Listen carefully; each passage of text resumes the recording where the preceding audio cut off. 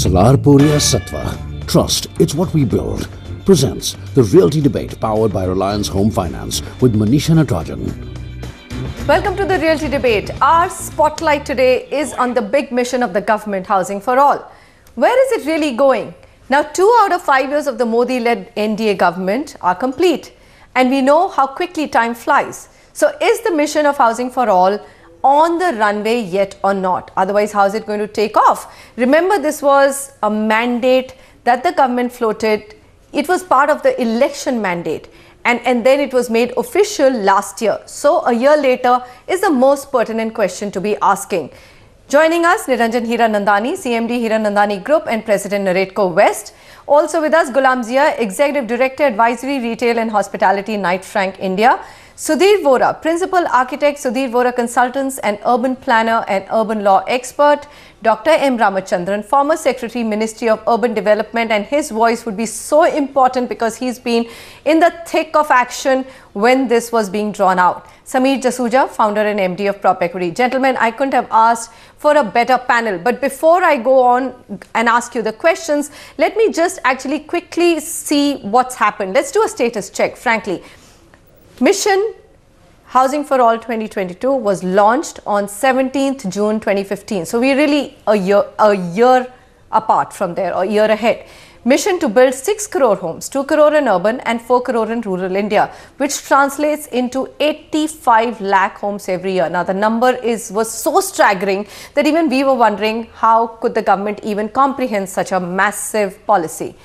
If you take urban alone, India needs to build 30 lakh homes in the sub let's say 15 lakh, 10 to 15 lakh category to meet this mission. Now let's see what's happened July 2016 and we're going to show you data taken from the Housing Ministry website for urban housing because there's still no data on rural on the site. We added the project sanctioned proposed houses and those built under four schemes of the government and guess what the numbers showed. Total houses completed 1645. We understand that real estate houses don't get constructed in a year. So yes, this were probably houses which were started earlier and have got completed but still number 1645. Total houses proposed. Now remember if you got to meet that mission just on urban housing, you've got to make 30 lakh homes every year. But total houses proposed by the ministry itself are only 7.28 lakhs. So there's a shortfall of 22.7 lakh. I'm not going to go into the details of what schemes these are. There's in situ slum rehabilitation, then there are other affordable housing, private partnership projects. So, so th these are under four schemes. Prof Mr. Ramachandran, what's going on? I mean, where are we on this? I mean, you should be focusing on this or must be watching this very closely. Were you surprised when the government came out with such a humongous target? Yes, uh, the target uh, really appeared to be very huge.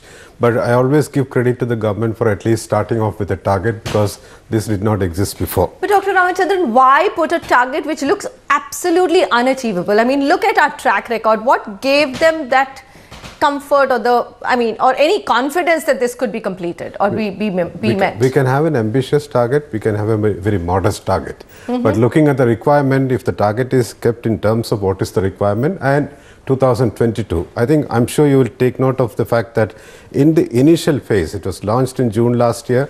We are talking about one year later. So initial phase, it takes some time for the states also to gear up as to where they want these houses built and what is the project which they are preparing and sending to the central ministry. So it's a question of approval. And in terms of approval, it has reached a figure of close to 10 lakhs if my figures are correct. Mm -hmm. So that is the approval provided so far. Now, approval, construction, this process goes on and ideally it would start picking up after one or two or three years or so and then it will suddenly reach a peak in the fourth, fifth, sixth year when there are sufficient sanctions, funds released, released and states are in a position to execute this. I am sure you will also note the difference here in the sense that uh, these are essentially government sector construction. Mm -hmm. I don't know where the private sector is chipping in. I don't have much of a figures on that. If they're also coming in, nothing like it, then probably it'll move faster. So it's the same existing machinery of government which has to undertake this task. It was being done in other forms earlier, but if we compare the figures of present with the other forms earlier, for the rural Indira Awas or for the urban the, under the JNNURM, what happened under BSUP, I, I do expect I, I, I think the saying- analysis okay, would be so, so let me ask you a very simple question. Do you see with the change of government acceleration at least in this whole mission of creating affordable housing? Do you, do you feel that we are on the runway? I would at think least so. I would you would say so. so. I would think so. Okay, that's a very very positive statement coming there. Niranjan Hiranandani, come in here. I mean, uh, of course, this is a very, very different segment of housing that we're talking about. It affects your city the maximum. I mean, in situ slum rehabilitation has been such a such a large challenge uh, for that city.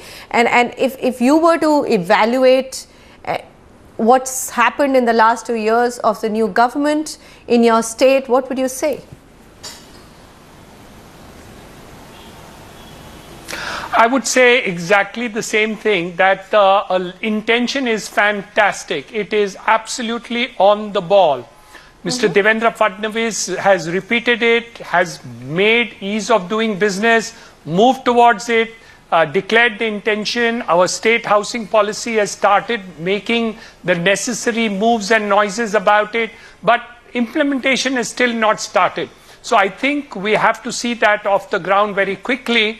One of the big things where the decisions of the government, both at the central and state for Mumbai, has seen a paradigm change is the fact that 2,500 acres of salt pan lands are now going to be used for affordable housing and economically weaker section housing.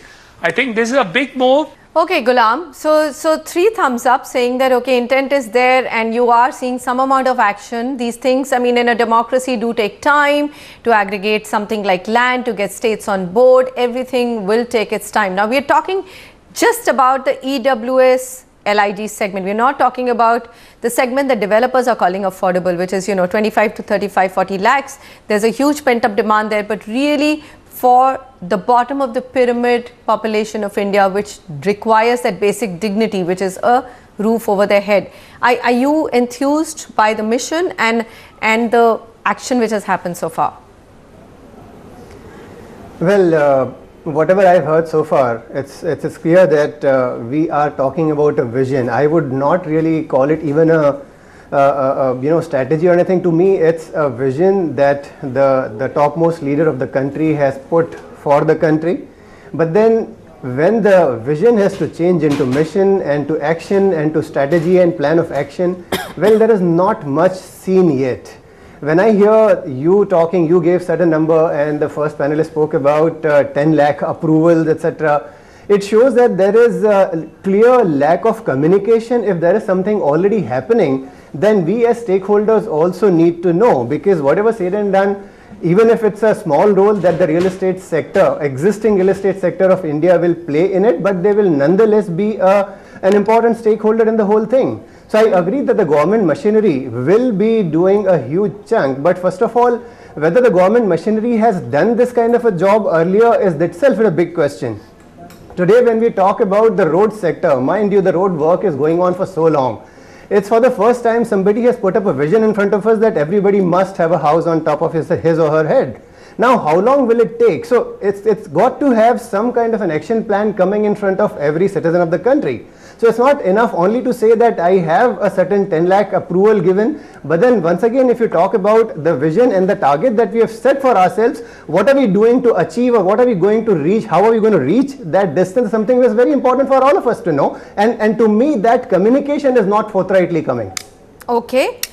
The, the four schemes that I see, and I'm just going to look at some of the data. The mission provides, and Dr. Ramachandran, I'm going to come back to you. You said the mission, uh, the mission provides central assistance to urban local bodies and agencies for states through four mediums: the in situ rehabilitation of slum dwellers through private participation, credit-linked subsidy, affordable housing in partnership. Again, I'm assuming is with private parties, and subsidiary for beneficiary-led individual housing construction enhancement.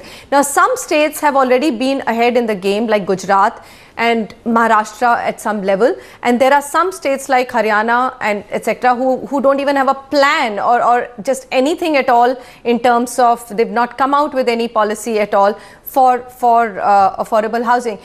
Weigh in all of this for us and tell us that really is the you said the government has been doing it but either center or state and this is state actually center there's only one policy but if are they capable of creating such a housing stock? And don't you think that private participation should have been far more closer? Like Gulam has just pointed out that there's we're not hearing enough. I mean, our builders, developers being called who've got experience in doing all of this, that come talk to us on the table and tell us how do we make this possible. I do not see much scope for private participation as far as this segment is concerned. Really? So I mean, you're saying that all of this has to be done by the government? What, what, what, what is proposed is for the lowest segment for which I think they have to uh, de- be dependent on government sources of funding. If there is a private participation coming in as far as building is concerned, that is going to add to the cost.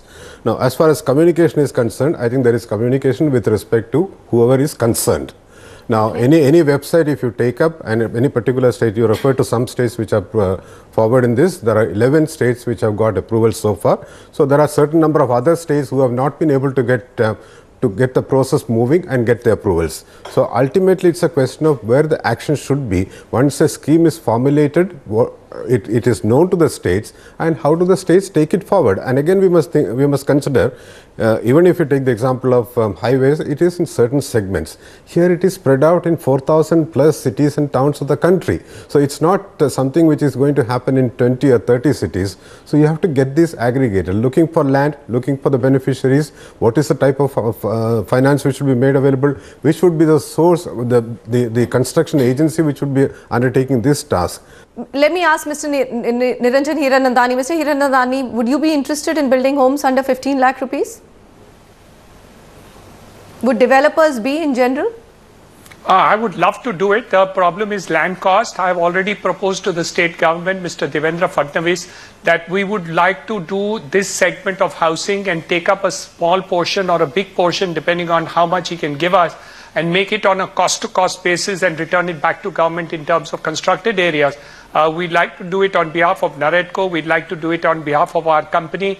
We'd like to participate, but as uh, our Honorable Secretary has mentioned, uh, if the government is doing it itself, it's fine with us, but we can also participate in this segment to the extent that the government desires us to do so, and we'd be very happy to do so. We can only hope, gentlemen, that the public and the private partnership here really works. The state governments realize they need the private developers, and private developers say it's a national task. In fact, I think everyone should get together and do it simply because you could have that big real economic booster which comes from just construction activity. Imagine if so many houses started getting built, the boost you would get to GDP. Thank you so much, Niranjan Hiranandani. Pleasure to have you with us. Gulam Zia, thank you so much. Sudhir Vora, Dr. Ramachandran, and Sameer Jasuja. Well, there are larger states, Punjab, Uttar Pradesh, and Haryana, which haven't even started off when it comes to affordable housing. But then there are also states which have been very progressive and are going great guns with it and they just need to keep up with the momentum. We're keeping our fingers crossed. We'll come back with a report card.